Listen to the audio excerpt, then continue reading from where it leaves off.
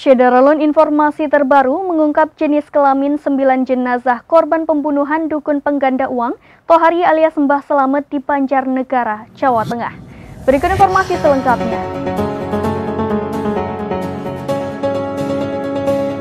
Syederalun informasi terbaru mengungkap jenis kelamin 9 jenazah korban pembunuhan dukun pengganda uang Tohari atau Mbah Selamet di Banjarnegara, Jawa Tengah.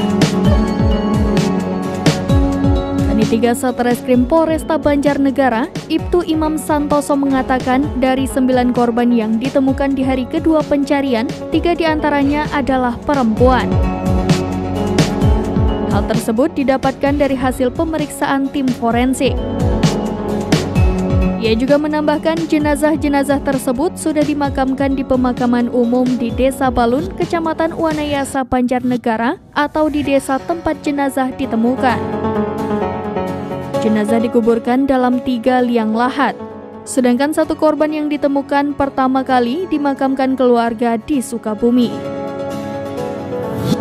Lalu, pada Selasa 4 April 2023 kemarin, pihak kepolisian berhasil menemukan dua jenazah korban lagi.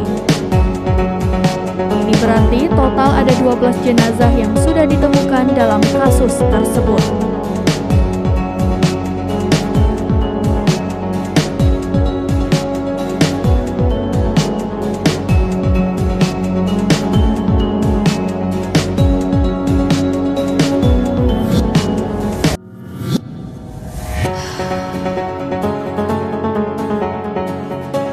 Demikian informasi terkini Syedaralun. Saksikan terus berita lainnya di kanal YouTube Serambi News, website dan Facebook serambinews.com.